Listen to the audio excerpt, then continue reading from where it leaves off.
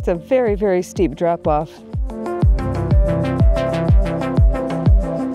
To get to the Bob Thompson Peak trailhead, take State Route 92 south from Sierra Vista and then turn west onto Ash Canyon Road. After about two miles on a dirt road, the road forks, and you'll follow the Ash Canyon sign onto the left fork. Then it's another half mile to the parking area. The hike is about four miles round trip, starting up a steep old mining road that's now used mainly by the Border Patrol. The only indication of the route is the Forest Road 4784 sign, a few hundred yards after you start your hike. And this seems like a good point in this video to mention the Trails of the Huachucas Trail Guide. As you know, I always recommend using Leonard Taylor's Trails of the Huachucas Trail Guide. It is really the definitive source of trail information in the Huachucas.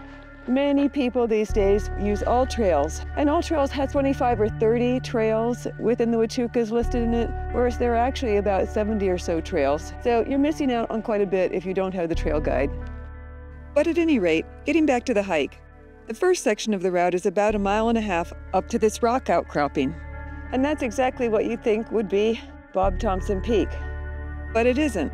Bob Thompson Peak is actually hidden from sight about a quarter mile to the east. And getting past the rock outcropping is where the sketchy section of the route is. First, continue up the road. Eventually, you get to the saddle and head east for a quarter mile. This is where you have to decide if you're comfortable with the 100 to 200 yards of steep drop off as you go around the outcropping. And now that we're finally at the big lump, we take a very faint route around it to Bob Thompson behind.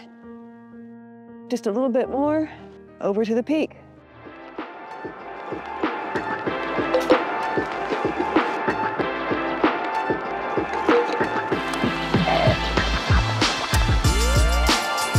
At the peak, there are great views of Smuggler's Ridge and Coronado National Memorial, and all around.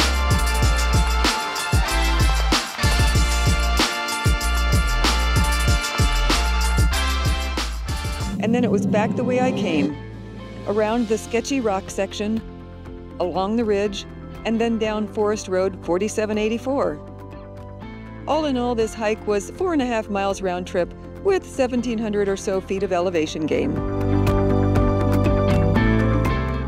Hope you have a chance to get out and hike some of the trails in the Huachucas and learn more about the history of this area.